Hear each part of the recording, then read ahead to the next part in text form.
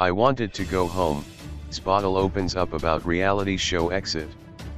Sbahle may have been slaying it with her bikini body and hashtag fitness goals on the reality show Tropika Island of Treasure, but she got to a point where she was feeling so low, she just wanted to pack it all up and head home. The fitness bunny told Afternoon Express she was usually able to rely on her partner to lift up her spirits, but when they both became a little down, it was difficult to deal. We feed off each other's energy, usually when I am at my lowest, she is up and when I am up, she may be on her lowest. It just so happened that we were both down that day, she said about the challenge that saw her leave the show. She said all she could think about was going home. I knew that my spirits were so low, I just wanted to go home.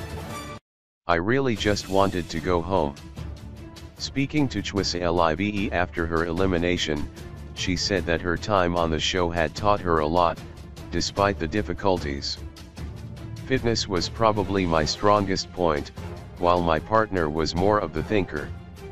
It was mentally and emotionally draining but I don't think I would have got as far as I did if it wasn't for my fitness.